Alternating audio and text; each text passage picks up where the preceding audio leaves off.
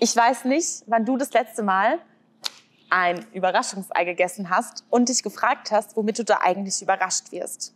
Oder wann das letzte Mal jemand zu dir gesagt hat, ich verrate dir nicht, was wir heute machen, lass dich einfach überraschen.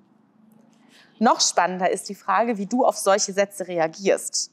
Eine Überraschung bringt immer eine gewisse Unsicherheit mit sich, weil du ja nicht weißt, was dahinter steckt. Sonst wäre es ja keine Überraschung. Wenn jemand am Geburtstag zu dir sagt, lass dich überraschen, was ich dir heute schenke, dann stört mich das erstmal nicht und eigentlich geht damit auch eine gewisse Vorfreude einher. Wenn aber meine Lehrerin in der Schule gesagt hat, ich habe die Klassenarbeiten dabei und teile die jetzt aus, ist es natürlich klar, dass das eine Überraschung für mich ist. Aber nicht immer ist klar, dass ich mich über diese Überraschung freuen werde, sondern vielleicht bin ich dann sogar ein bisschen angespannt oder ängstlich. Oder wenn jemand sagt, greif mal in den Eimer, fühl mal, was da drin ist und hol das raus, dann ist es auf jeden Fall bei mir mit einer Angst verbunden. Überraschungen begegnen dir auch, wenn du mit Gott unterwegs bist. Mose wurde zum Beispiel von einem brennenden Dornbusch überrascht. Er war total überrascht, dass er erwählt wurde, um Gottes Volk anzuführen. Er hätte nicht gedacht, dass er dafür der richtige Mann mit den richtigen Stärken ist. Mose hat aber genau das erlebt, was in Jesaja 55, Vers 8 steht.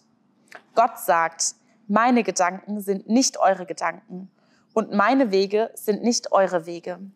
Denn wie der Himmel die Erde überragt, so sind auch meine Wege viel höher als eure Wege und meine Gedanken als eure Gedanken.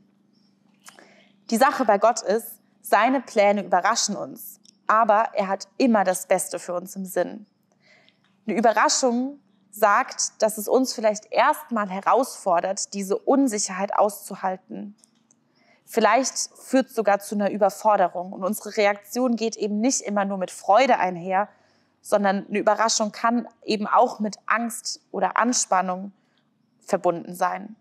Aber Gott ist gut. Seine Überraschungen haben das Große und Ganze im Sinn. Wenn Mose nicht überrascht worden wäre, hätte er Gottes Volk nicht aus Ägypten, aus der Gefangenschaft herausführen können. Und jetzt ist die Frage, was heißt es für dich?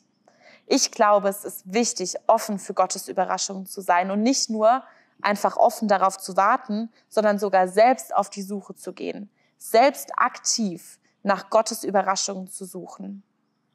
Wenn man immer nur auf seinen bekannten Wegen ist, immer nur in seinen Routinen bleibt, dann ist da wenig Möglichkeit für Überraschungen. Die Wahrscheinlichkeit, überrascht zu werden, sinkt.